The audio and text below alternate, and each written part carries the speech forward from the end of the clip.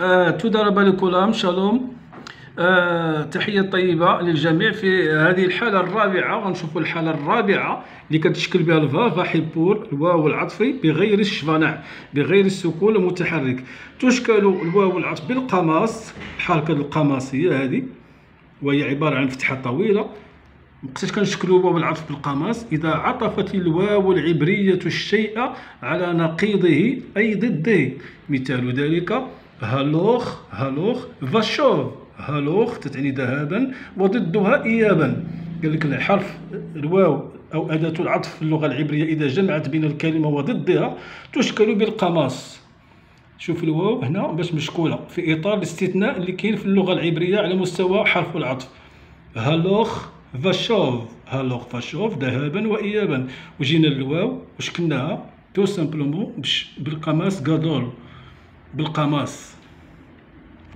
هذه هي حركة ال קמץ اللي شفنا شحال هذه في les voyelles حركة فتحة طويلة.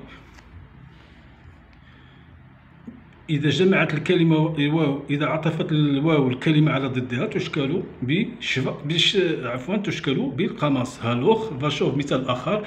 بصار فدام لحم ودم بصار تتعني لحم فدام ودم لاحظوا الواو مشكولة بالقماص. هذا استثناء في حرف في شكل حرف الواو باللغة العبرية مثل آخر أخ فريع أخ فريع أخ وصديق أخ وصديق أخ فريع أح فريع لاحظوا الواو شكلنا تما بالكماس أخ فريع أخ وصديق هي كلمتان متناقضتان. ولكن هنا الواو مشكول عندنا بالقماص مثال آخر.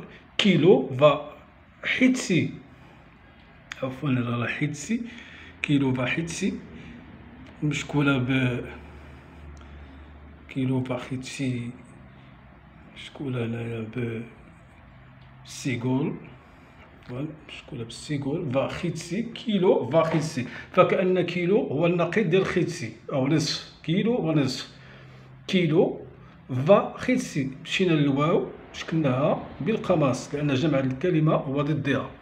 תודה רבה לכולם שלום להתראות